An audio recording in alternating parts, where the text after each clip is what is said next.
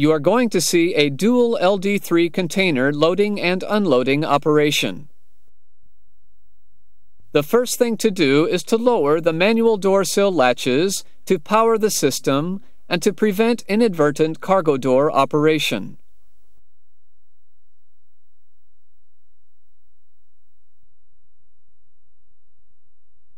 Before loading the cargo units, the cargo compartment has to be prepared. Then raise both retractable XY guides. All other latches must be clear out of the way. Open the control panel access door and set the power switch to on. Move the container onto the ball mat area. On the door sill, the overridable door sill latches are overridden. Move the joystick to the in position. The lateral power drive units run. On the aircraft center line, the overridable XY guide is overridden. Release the joystick. It returns to the neutral position then select the split function by pressing the joystick down. Both containers are separated. The retractable XY guide rises. Then set the Y guide switch to the forward position and at the same time move the joystick to the forward position. Hold the Y guide switch in the forward position until the container is clear of the Y guides. When the container is clear of the Y guides, the Y guides rise automatically due to spring action.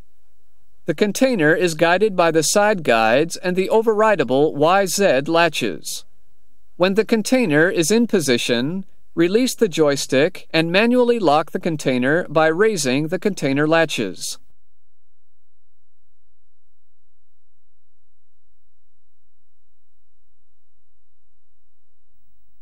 For loading the ball mat area, the containers must be loaded one at a time. Only a lateral movement is needed.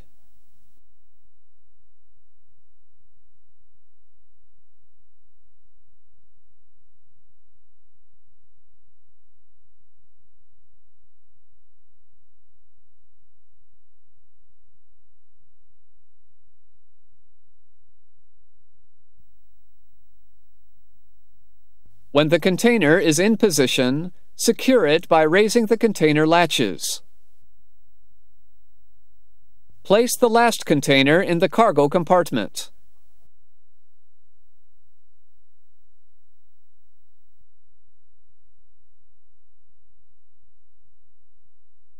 When the last container is in position, secure it by raising the manual door sill latches.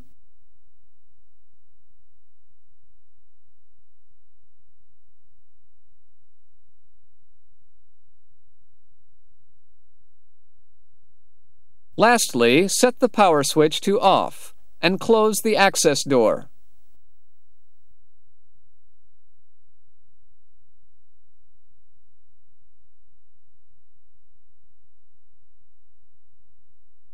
Unlock the first container by lowering the manual door sill latches.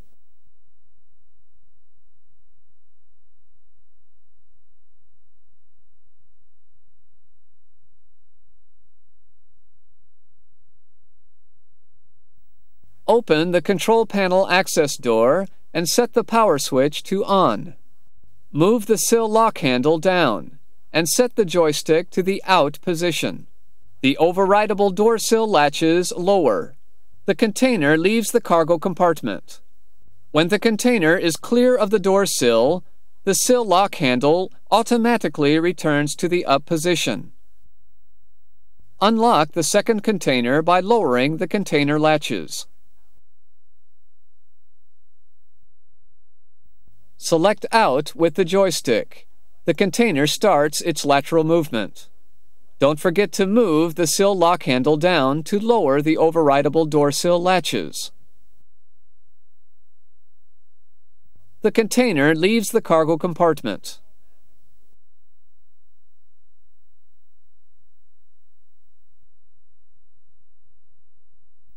Once the ball mat is clear of the containers, the overridable XY guide has to be lowered before unloading the remaining positions.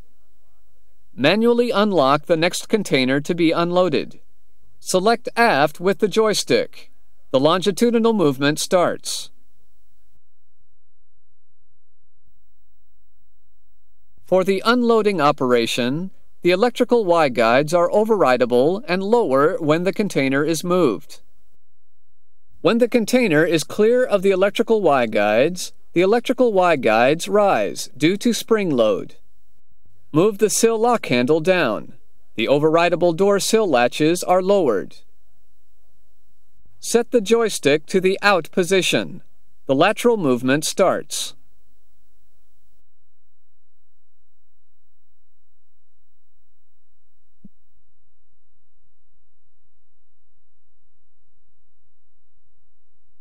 When the operation is finished, set the manual door sill latches to up.